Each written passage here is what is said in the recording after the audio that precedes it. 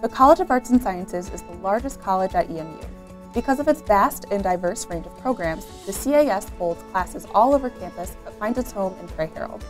The seven floors of Pray Harrold hold many different departments and programs, ranging from anthropology to English to political science. Pray Harrold also houses a bulk of our general education courses. You will also find a writing center, a math lab, and a market with a student lounge. The Science Complex, Mark Jefferson, as well as the newly renovated Strong Hall, hold all our natural and physical science classes. The Science Complex has an abundance of environments to enhance your learning, including classrooms, labs, lecture halls, a planetarium, and the Terrestrial and Aquatic Center.